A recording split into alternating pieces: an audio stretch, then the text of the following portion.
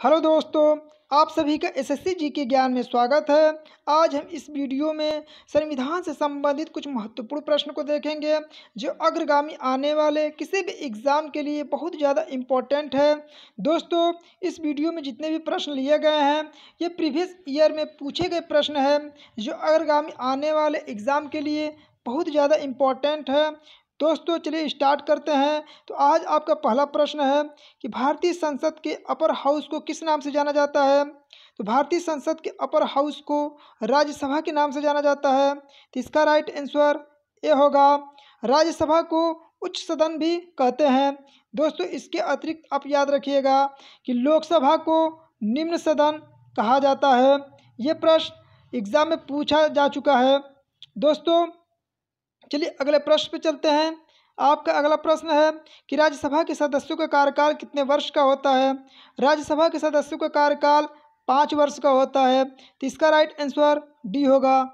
दोस्तों, आप इसके अतिरिक्त याद रखिएगा कि लोकसभा के कार्यकाल, लोकसभा के कार्यकाल पाँच वर्ष का, जबकि प्रधानमंत्री, राष्ट्रपति, उपराष्ट्रपति इन सब का भी कार्यकाल पाँच वर्ष का होता है। दोस्तों, चलिए अगले प्रश्न पर चलते हैं। आपका अगला प्रश्न है कि राज्यसभा के सदस्य के लिए न्यूनतम आयु कितनी होती है?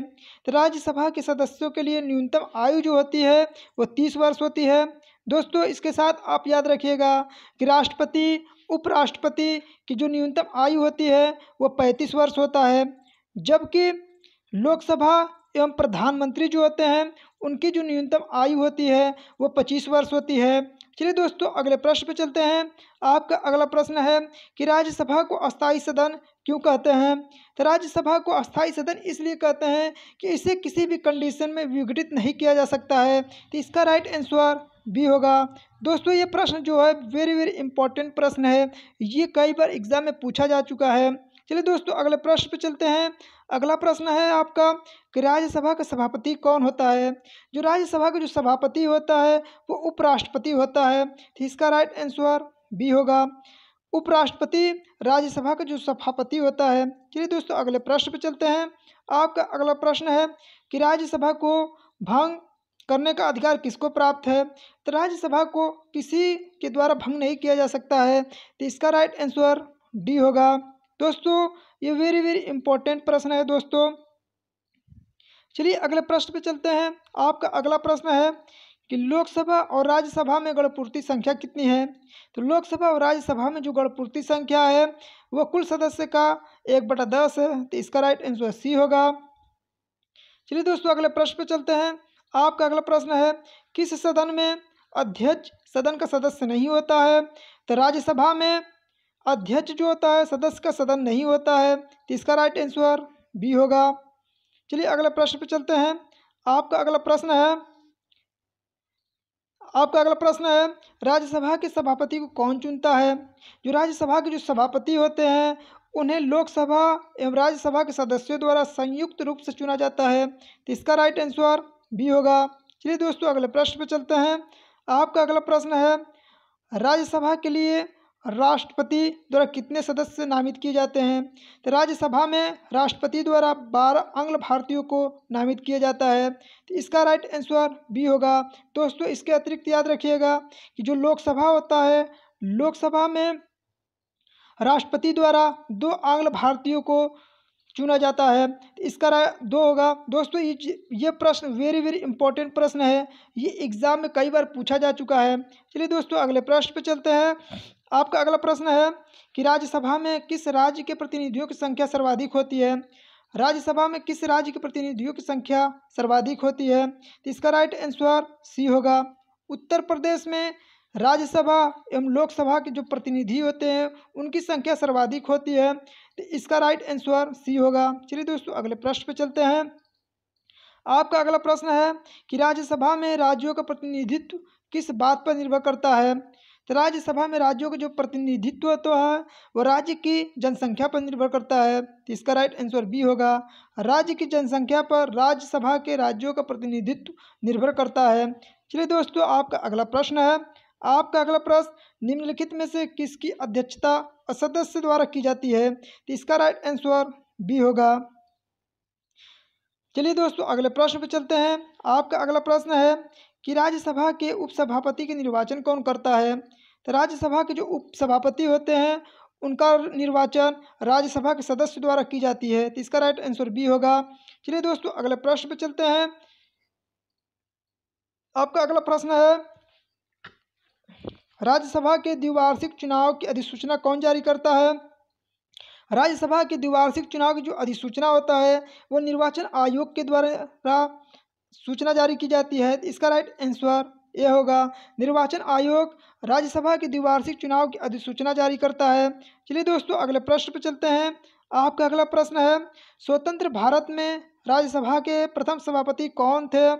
तो स्वतंत्र भारत में राज्यसभा के प्रथम सभापति डॉक्टर एस राधाकृष्णन थे। इसका राइट आंसर बी होगा। दोस्तों, जो डॉक्टर एस राधाकृष्णन थे, वो प्रथम उपराष्ट्रपति थे। इनको भी याद रखिएगा।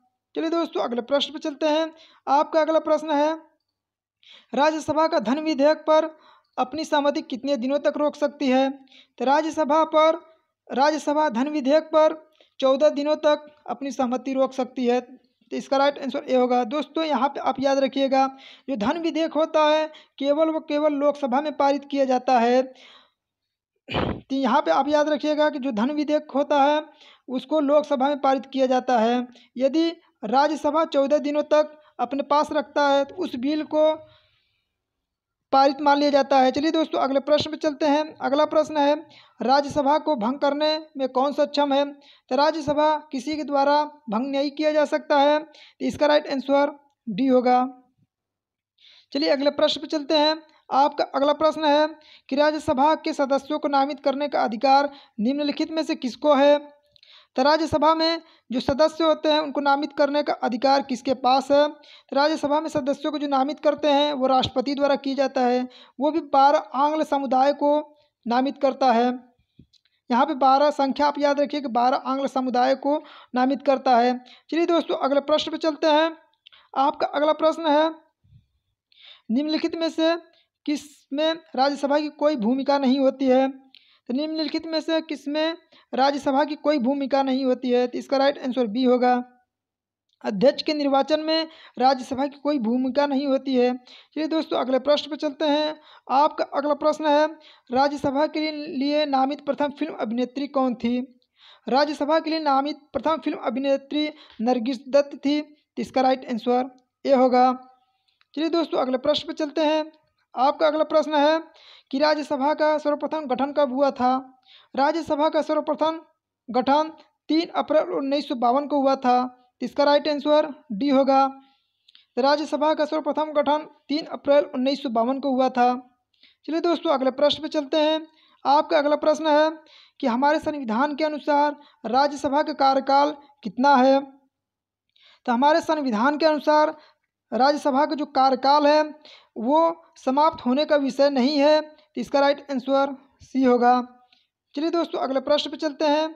आपका अगला प्रश्न है कि राज्यसभा में सीटों की अधिकतम संख्या कितनी है? तो राज्यसभा में सीटों की अधिकतम संख्या 250 है। तो 250 राज्यसभा में सीटों की अधिकतम संख्या है।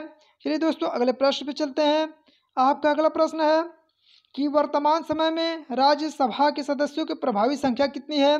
तो वर्तमान समय में राज्यसभा के सदस्यों की जो प्रभावी संख्या है 245 है। तो इसका राइट आंसर बी होगा। चलिए दोस्तों, अगले प्रश्न पे चलते हैं।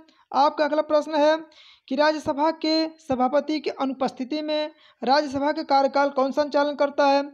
राज्यसभा की अनुपस्थिति में राज्यसभा के जो कार्यकाल, कार्य संचालन उपसभापति के द्वारा किया जाता है तो इसका राइट आंसर सी होगा। उपसभापति राज्यसभा के सभापति की अनुपस्थिति में राज्यसभा का कार्य संचालन करता है।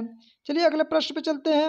आपका अगला प्रश्न है कि राज्यसभा किस अनुच्छेद के अंतर्गत आता है? दोस्तों, यहाँ पे आप याद रखिएगा कि अनुच्छेद सेवेंटी नाइन में संसद का प्रावधान किया गया है, जबकि अनुच्छेद अस्सी में राज्यसभा का प्रावधान किया गया है। राज्यसभा और अनुच्छेद इक्यासी में लोकसभा का प्रावधान किया गया है। लोकसभा। तो दोस्तों, इसका राइट आंसर होगा। अनुच्छेद भी, अनुच्छेद अस्सी राज्यसभा अनुच्छेद अस्सी के अंतर्गत आता है। चलिए दोस्तों, अगले प्रश्न पे चलते हैं। आपका अगला प्रश्न है, राज्यसभा की प्रथम बैठक कब हुई थी? तो राज्यसभा के जो प्रथम बैठक हुई थी, तेरह मई उन्नीस सौ बावन को हुई थी। तो इसका राइट आंसर डी होगा। दोस्तों, यहाँ पे राज्यसभा की प्रथम बैठक तेरह मई उन्नीस सौ बावन को हुई थी। दोस्तों, जबकि राज्यसभा के जो सर्वप्रथम गठन हुआ था, तीन अप्रैल तीन अप्रैल उन्नीस सौ बावन को हुआ था। ये याद रखिएगा दोस्तों, ऊपर क्वेश्चन करवा दिया गया है। चलिए दोस्तों, अगले प्रश्न पर चलते हैं। राज्यसभा में गणपूर्ति के लिए निर्धारित संख्या कितनी है? तो राज्यसभा में गणपूर्ति के लिए निर्धारित संख्या पच्चीस है तो इसका राइट आंसर ए होगा। दोस्तों, ये वेरी वेरी इंपॉर्टेंट प्रश्न है। ये एग्ज़ाम में चार से पाँच बार पूछा जा चुका है ये क्वेश्चन चलिए दोस्तों, अगले प्रश्न पर चलते हैं। आपका अगला प्रश्न है कि राज्यसभा के सदस्यों का निर्वाचन होता है।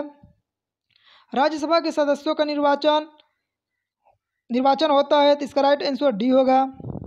राज्यसभा के सदस्यों का निर्वाचन राज्यसभा की विधानसभा के निर्वाचित सदस्यों द्वारा होता है। इसका राइट आंसर डी होगा। चलिए दोस्तों दोस्तों यहाँ पे आपके तीस क्वेश्चन कंप्लीट होते हैं, जो ये प्रीवियस ईयर से पूछे गए प्रश्न है। दोस्तों, आपको ये वीडियो पसंद आए तो वीडियो को लाइक करें सब्सक्राइब करें और अपने दोस्तों के साथ ज़्यादा से ज़्यादा शेयर करें। Thanks for watching